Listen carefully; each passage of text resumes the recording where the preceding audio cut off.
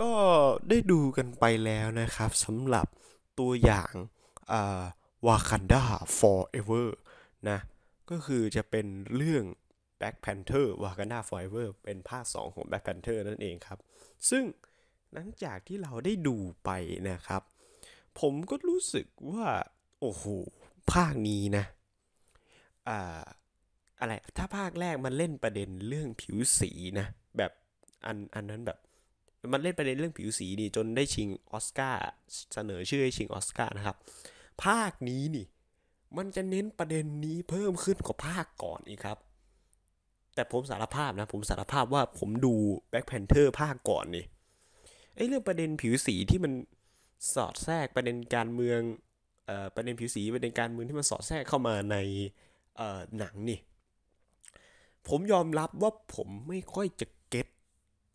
สักเท่าไหร่สักเท่าไหร่ ผมไม่ค่อยจะอินสักเท่าไหร่นะในในตอนนั้นแต่ว่าภาคนี้ผมว่า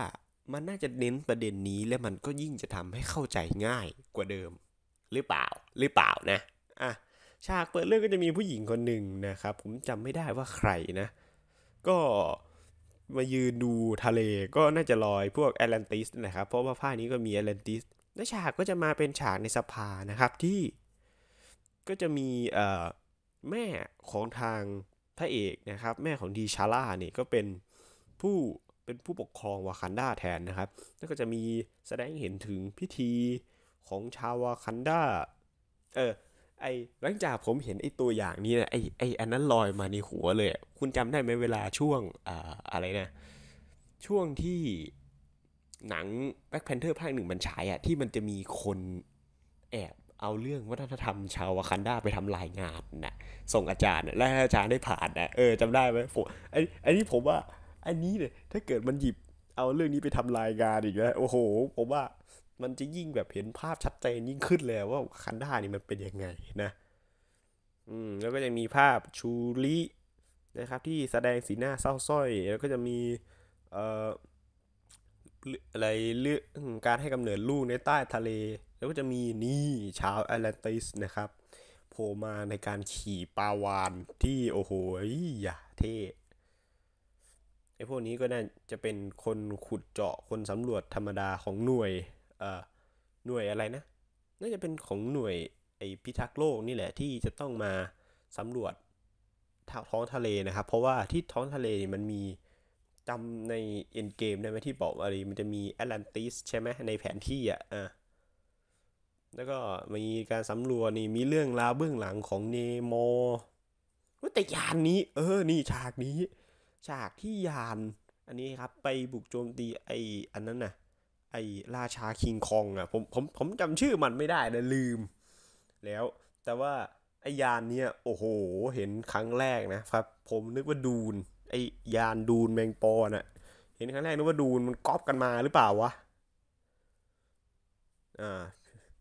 ซึ่งหลังจากที่ได้ดูก็จะมีการดูตัวเอกอ่ามีเนมอนี่มีปีกติดชัดเจนนะครับเนมอชัวร์นะนี่แล้วก็มีการต่อสู้บู๊กันกับทหารปกติ แล้วก็มีการบู๊กันกับชายแลนติส ซึ่งที่ผมจับสังเกตได้ในภาคนี้นะครับก็คือ ตัวละครหญิงนี่เด่นมากนะ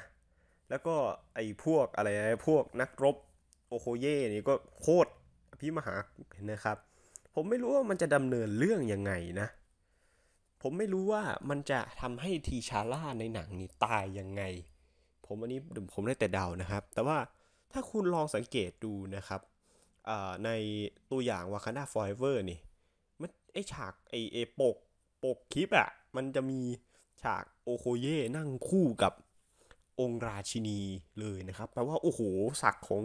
โอโคเย่นี่ในพลโอโคเย่นี่ต้องสูงศักดิ์พอสมควรนะอ่าและฉากสุดท้ายก็จะปิดการด้วยนี่ Black Panther นะครับไม่รู้ว่าใครเป็นคนใส่ชุด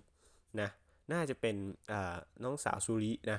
ที่เป็นคนใส่ชุด Black Panther อันนี้นะครับ ก็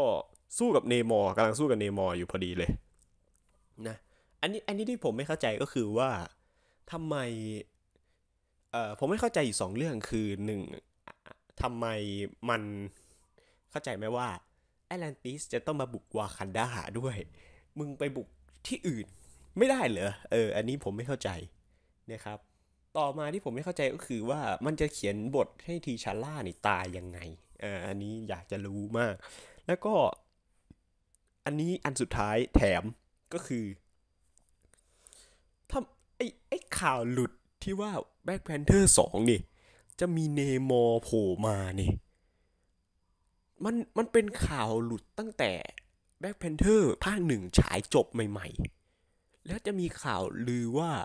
อะไรวะ Black Panther ภาคสองจะมีเนมอมาโผล่ถามจริงเถอะ ไอ้อีกคนปล่อยข่าวนี้มึงรู้ล่วงหน้าได้ยังไงวะมึงเป็นคนวงในเหรอหรืออะไร อันนี้ผมไม่เข้าใจจริงนะครับ ว่า โอ้โห ข่าวลือแต่ละอย่างมาเวลช่วงหลังนี่ทำไมมันจริงจริงตลอดเลยวะหรือว่าหรือว่าหรือว่านะ หรือว่าเควินไฟกีเนี่ยเห็นข่าวหรือพวกนี้ในอินเทอร์เน็ตก็เลยแบบเอ้ยมีคนคิดทฤษฎีสมคบคิดขึ้นมาแล้วเควินไฟกีเลยจัดให้สักหน่อยอะไรประมาณนี้อย่างนี้เหรอ อันนี้ผมไม่เข้าใจนะครับอะสำหรับ Wakanda Forever น่าจะเป็นหนังที่ไม่มีตัวเอกอย่างชัดเจนนะ น่าจะเป็นแบบเหมือนเมืองวาคันดาอะ แบบว่าเอ้ยใครมันจะเป็นตัวเอกอะไรประมาณนี้ เหมือนคุณดูเรื่องเชอร์โนบิลอะก็คือเป็นเมืองเชอร์โนบิลคุณจะเล่าเรื่องจากใครก็ได้ไม่มีตัวเอกชัดเจนนะอะสำหรับวันนี้ก็ลาไปก่อนสวัสดีครับ